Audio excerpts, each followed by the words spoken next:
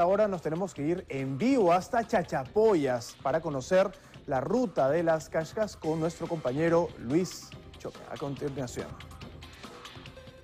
Eh, muchas gracias, colegas en estudio. Y efectivamente, estamos viniendo de la ciudad de Chachapoyas y a escasos 40 minutos de la ciudad de Chachapoyas se ubica el sector de Tingorbamba, en el distrito de San Pablo de Valera, y nos encontramos en la cabañita de mi Chabelita. Y Chabelita fue una abuelita que vivía acá en esa cabañita y nos recibe su nieta, y es Irma. Irma, ¿cómo estás? Muy buenos días. Buenos días, adelante. Buenos días, buenos días. Bienvenidos. Bienvenido a la restaurante Caballa Mi Chabelita. Adelante. claro que sí.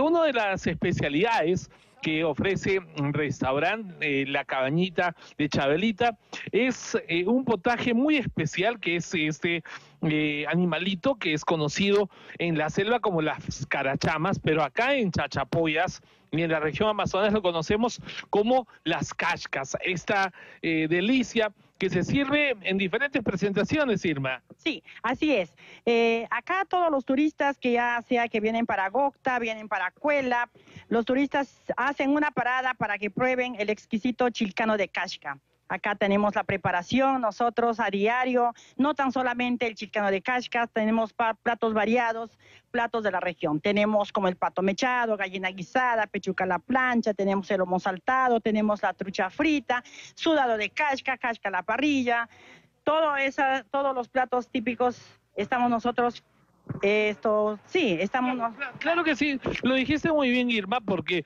este es uno de los puntos para poder desplazarnos ya sea hacia Cuela o ya sea hacia la catarata de Gocta, que es la tercera catarata más alta del mundo y la más alta del Perú. Y esta casca, vamos con Irmita y permíteme por favor pasar a tu, a tu, a tu cocina, porque mm, Irma nos está recibiendo en esta mañana con un preparado muy especial que son estas deliciosas cascas. Esto es un animalito que eh, se, puede encontrar en el río, pero en el río Utcubamba. Sí, el río Utcubamba, donde también estamos acá, eh, que de luego también les voy a tener que hacer pasar al fondo para que puedan esto apreciar los dos uniones de río, el río Utcubamba y el río Sonche. Del río Sonche y el río Utcubamba vienen estas cascas la sacamos de ahí nosotros. que, es, que, es, parecido a la carachama, pero es más pequeña y eh, el sabor es, es más diferente a una carachama.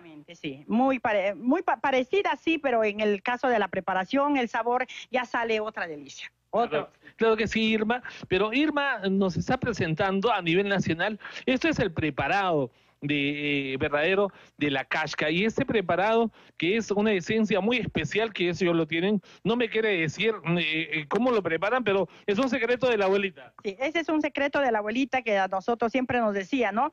Desde muy pequeño nosotros hemos, nos hemos criado acá con estos chilcanitos de casca, sacábamos fresquecitos del río y nos decía, esta preparación es el secreto de la abuela. Así que nosotros siempre tenemos que tener en el recuerdo, en memoria de todos, nosotros siempre... Este es más conocido como la leche, la casca. Así, esencia es una lechecita que sale, que no siempre le va a encontrar usted en ningún lugar de, otro, otro, otro lugar.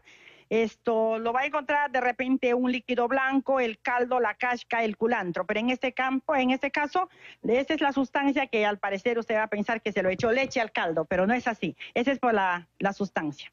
Entonces, eh, parte de este preparado, porque nosotros vamos a visualizar acá, eh, eh, ya en la olla, acá en la olla industrial. Echado, acá ya le tengo el aderezo, el aceitito, el ajito, nada más que nada que tomate, nada de esos otros ingredientes. Esos insumos yo no lo pongo, solamente es el aceitito blanco, el ajito, entonces el agua está hirviendo acá y vamos a tratar de echar más agua acá. Cuando ya esté echado... Sí, y bueno, este, una vez que ya eh, se ha eh, cocinado el caldito, la casca, pues ya visualizamos cómo es que Irma está sirviendo este delicioso plato de caldo de chilcano de casca. Sí, así es, ya está por terminado el caldo, entonces ahora nos pasamos ya para, para servir. Así se sirve, esta es la sustancia, como ve, mire el color del caldo que ha quedado no es un agua transparente, ha quedado así. Entonces ahí se ha agregado también el culantro, un poquito de culantro, para que pueda tener esa e-, ese saborcito a culantro. y al Pero- final... pero hay, un, pre- hay un preparado muy especial que eso lo, lo realizan en unos 20 minutos en, en la cocina. Sí. O sea, en, en el caso del chilcano, ya se ha echado el agua, todo, se ha hecho el aderezo del aceitito con el ajo, luego se ha echado el, el agua que esté hirviendo, luego se ha echado la casca que sea grande, porque el tiempo para, para el cocinado, para la cocción tenía que ser primero las cascas grandes y luego la pequeña. Una vez que haya hervido los cinco minutos, ya se ha echado la sustancia, entonces como que tratamos de, de limpiarlo, como se dice, entonces para que te- tenga esa contextura y ese color así.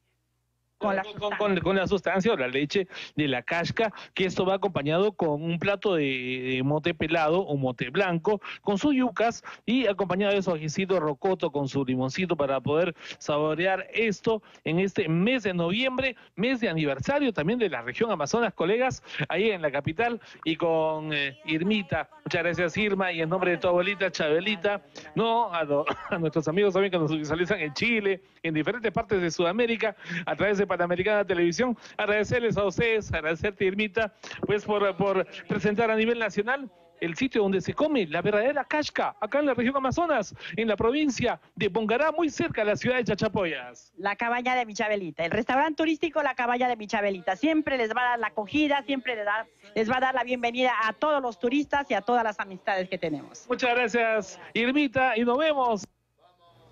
Provecho. Ahora